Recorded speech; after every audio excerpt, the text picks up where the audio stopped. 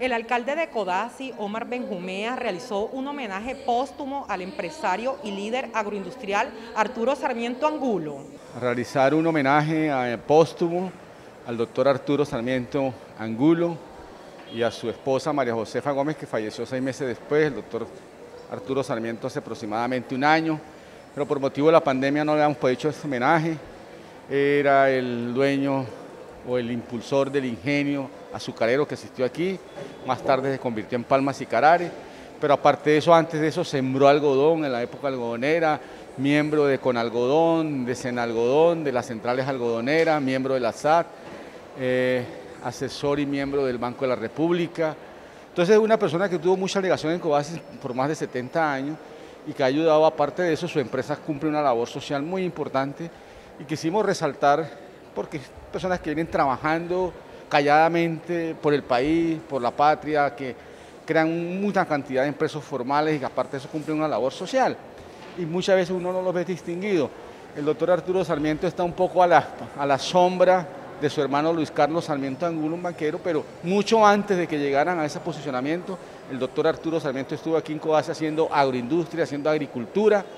y arriesgándose a crear empresas, empresas que es una cosa bien difícil. Parece que no, pero es bien difícil y sobre todo con empleos formales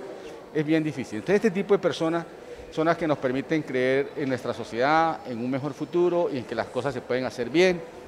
eh, y calladamente, y lo ha, hecho él. Queremos que quede en la página de Codazzi, que quede en, su, en la historia del municipio y que las nuevas generaciones reconozcan ese legado y que además sus hijos continúen aquí trabajando por CODAS. Este es un justo reconocimiento que le hacemos al doctor Arturo Sarmiento Angulo, quien fue un visionario, empresario que trajo el progreso a esta región de Colombia, al municipio de Codazzi. Aquí ese visionario empezó sembrando caña de azúcar y montó el ingenio Sicarare, produciendo azúcar, melazas, licores, alcoholes y posteriormente sembró maíz, sorgo, yuca y finalmente montó el cultivo de palma africana en lo que hoy es eh, palma sicarare en donde tiene igualmente una planta extractora de aceites. El doctor eh, Arturo Sarmiento fue un gran dirigente gremial, no solo del Cesar, del Colombia. Fue miembro de la Junta Directiva del Banco de la República, de la antigua Caja Agraria. Igualmente representó eh, eh, a los gremios en Fedepalma, en la Federación Nacional de Algodoneros, en la Sociedad de Agricultores de Colombia. Es decir, fue un digno representante de los gremios del sector agropecuario a nivel nacional, a nivel regional y especialmente en el municipio de Codazzi,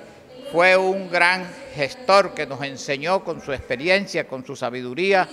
como hombre del campo, como ingeniero agrónomo, cómo era que se manejaban aquí los diversos cultivos,